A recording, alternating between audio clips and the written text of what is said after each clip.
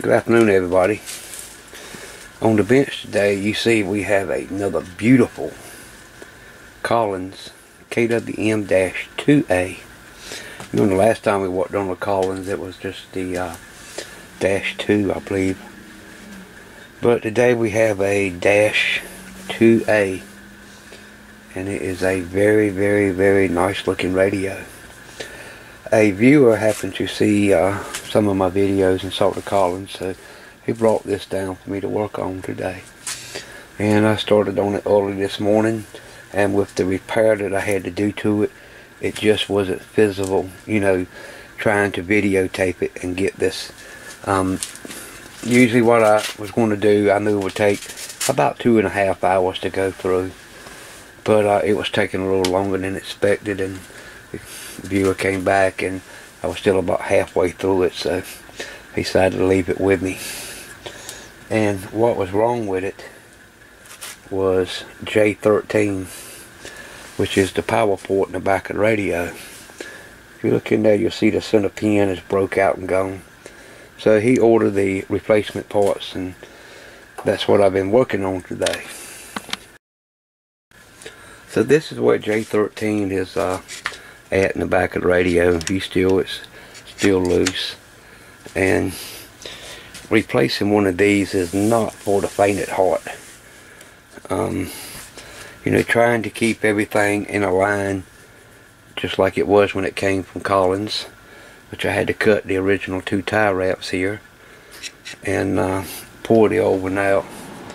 Now, if you notice, this thing has a complete band around it that all these caps are sorted to plus some ground wires. So it took you know a couple of hours to take this out and get it back in and keep all the wires you know packaged back nicely where they're supposed to be and get this band with the ground back in.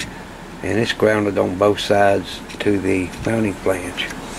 So it takes a while to do and it is a nightmare even to get into it, you know, you had to uh,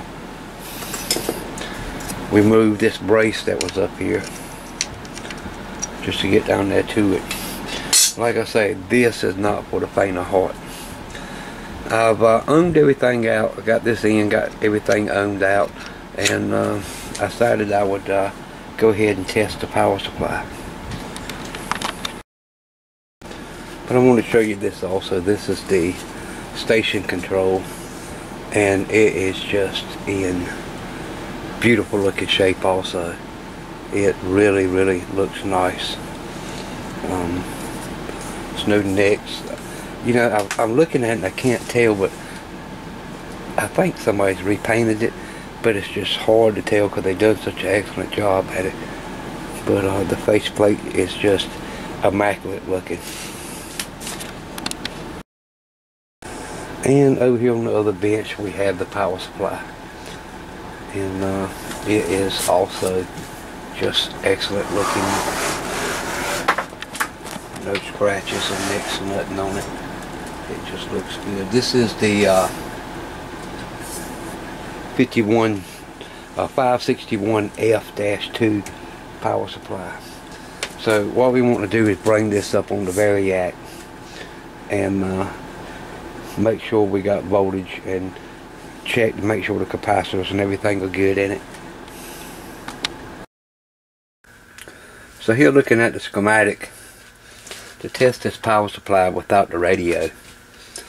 Um, P1 which is the connector that comes off the cable. Pin 7 is your AC common. Pin 5 is your AC switch. So what we're going to have to do is jump those two pins to get the unit to come on and we're going to go down to the uh, 275 volt DC on pin 1 and down to either pin 11, 10 or 3 and pick up our ground so we can uh, check to see if that voltage comes up. If you're doing this at home and you're playing around with it, if you're not experienced, you know you do this at your own risk there is plus 800 volts on pin 2 of this connector so you need to be very careful So I got our voltmeter connected to pin 1 which is our 275 volt um, supply and pin 3 ground and I'll have pins 5 and 7 shorted and that's our switch. I have it hooked to the big variac. The other variac with the light bulbs in it is not enough amperage to properly run the supply so we're going to use the bigger amp with no current limiting um, that you can see. We got built-in current limiting here so there should be no problem. We just don't see when it is. So we're going to bring this up, look at our voltage and see what we get. Um, this power supply has a soft start relay in it. So at about 65 volts, um, somewhere plus or minus that, we should hear the relay start to vibrate and kick in. So let's go ahead and turn the voltage up and see what happens.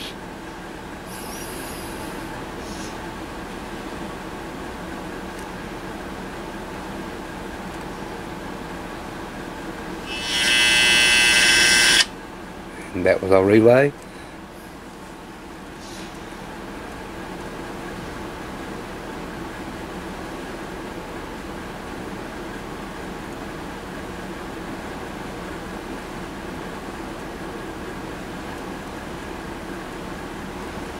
and there we are at about 275 volts on pin 2 so we're looking pretty good on this just like our power supply seems to be a little healthy so no problems and we can connect to the radio and see what kind of shape the radio's in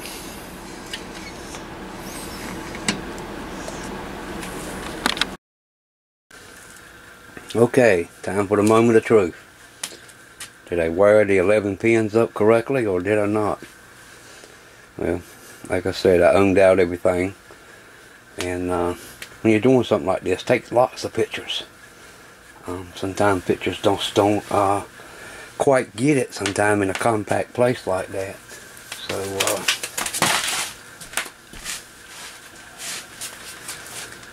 sometimes we draw out little notes and all depends on which wires are going to it so uh, guess we'll give it a try and what we should see is the uh, hear the power supply kick in at about 60 65 volts. Then right after that you should start seeing the dial indicator lamp come on. And then after that we'll see the um, meter should peg out. And we'll let it sit there for a minute and then it should uh, start dropping back down.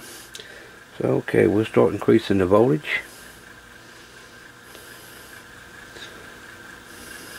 so far so good.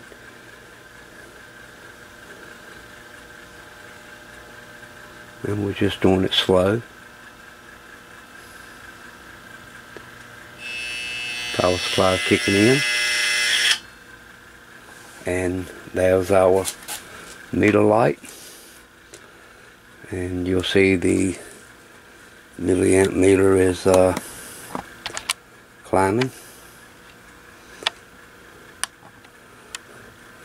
and as she starts to warm up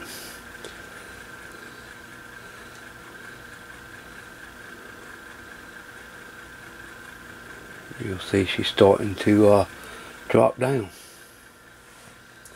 Um, normal current draw. So everything looks to be in good shape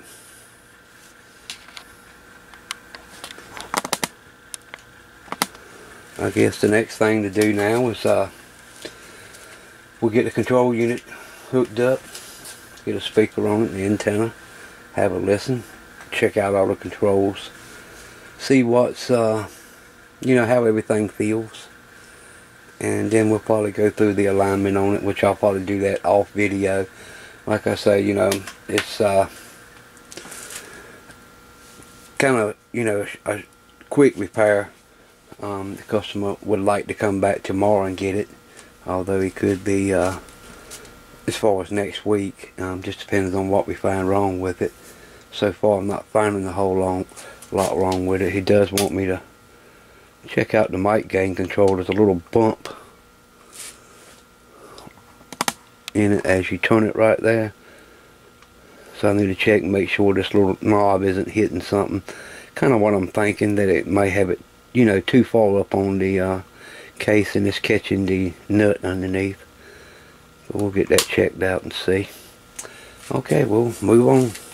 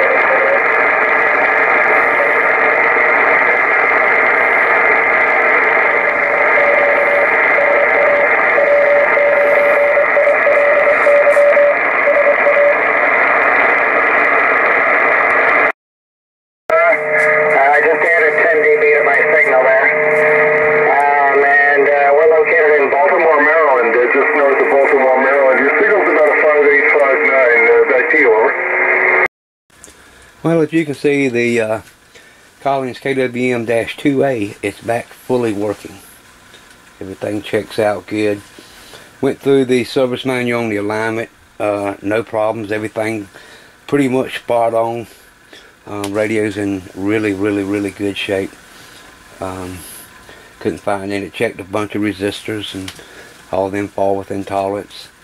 So, you know, I think the radio has been restored at one point in time by looking at a few things, but uh, it's just in really great shape.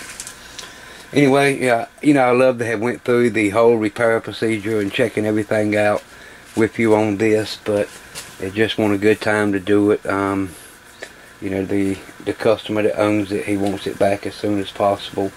And a lot of times when you're working on old gear like this and you're trying to record and work on it at the same time, um, a 30 minute job could turn into four to five hours you know so you can imagine what a four or five hour job would turn into you know just shooting the footage and going through it and testing it. So this was kind of hurry up let's get it fixed let's get it on back to the customer so. Anyway uh, these are beautiful rigs I love them um, one reason why I don't do a lot of repair videos on the radios like the Collins and stuff, most of the time the owner is standing over you with a shotgun. So, you know, he don't want to see no video. He wants this radio. And a lot of guys that own these things are so particular and watch every little thing you do. Some of them even have a fit if you need to change a capacitor out. You know, they don't really want you to remove a capacitor. They want that original capacitor that came in there in Collins, like a lot of, uh, oh, too me to repeat, okay, like a lot of, uh, you know, vintage guitar amplifier owners, you know, they don't want nothing changed, they want everything right. Um, Greg that owns this, he doesn't seem to be following that line, you know, so that was good, but, you know, we put original parts back in it that was replaced, and she's all ready to go. It's like I say, one beautiful piece of equipment. I love these things. So here's an inside shot for you Collins lovers like myself. Um, you can see just how clean and how nice this uh, this radio looks inside. Um, you know, basically what we do, we go in, we pull out all the tubes, clean the, the sockets, the pins. You know, make sure all your nuts and bolts are tight. Um, make sure none of them's loose, about to fall out. You know check wiring make sure that uh, nothing is uh, rubbing too hard on on stuff. You know just being sure that everything looks nice. You know check out a bunch of resistors capacitors and stuff and everything is looking wonderful. So I think uh, Greg will be very happy with this rig for just a little while and uh, you know, see how it develops on down the road. See if any little minor things come up or whatsoever. You know, and address them then and, and see what needs to be done.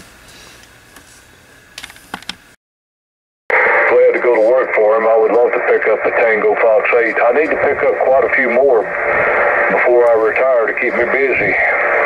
I've got 32 right now, and I wouldn't mind getting up near 100. Uh, well, I'd like to double what I got anyway. Really going to need to stay busy. So uh, that's the key to retirement. uh, Here we're looking at the schematic. And you see this is the uh, crystal board. Has all the crystals for your band in it. And over here is a, uh, a tube. And that's the crystal oscillator. And there you can see L7 2.2 microhenry this connection in between L7 and that capacitor um, C280 yeah C280 was loose. It had very little solder on it and it was cracked. And that's what was causing the uh, oscillating. So I went in and resoldered that and I soldered several joints in this radio you got to think about just how old this radio is so you know if it was lacking a little bit of solder um, back when it was built, then you know later on down the line it's going to crack. But I got all that soldered back together, and now she's uh, seemed to be working real good. Again, guys, you know I wished I could have spent the time to go through this and video the whole repair, but you know time was a factor on this. So you know the station back up and go. and it's ready to go back to the owner. So another beautiful old radio ready to be put back on there. So the video I did have planned for this weekend was the EICO 315 um, signal generator. But you know the Collins came in so I had to go ahead and jump on that. And up next we have another Collins in. And uh, the complaint with this Collins, this is the KWM-1 which is one of the very first Collins made. Um, receives good, no transmit. So this one will be here probably all week and the week after. Um, since you know my time is limited during the week. So we'll get a chance that we can go through this one together and uh, make a video out of it. But beautiful receiver, a transceiver.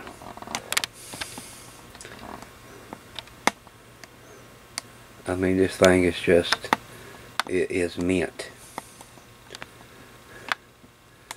It always do me proud to see one of these come in the shop. We worked on quite a bit of these in the uh, the past. And let's see what's on the band tonight.